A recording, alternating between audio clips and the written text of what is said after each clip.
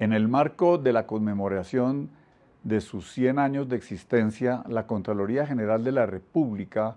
publicó en su página web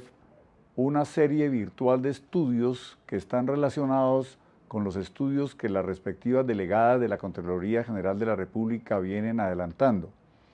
Dentro de estos, la Contraloría Delegada para el sector de minas y energía publicó ocho estudios, dentro de los cuales están los beneficios y exenciones tributarias que tienen los productores de petróleo y los de hidrocarburos en Colombia. Entre otros estudios hay estudios del sector de energía eléctrica y de gas natural, por lo cual estamos invitando a todos los colombianos y conocedores del tema para que los lean y nos comenten y tengan en cuenta estos comentarios de la Contraloría General de la República.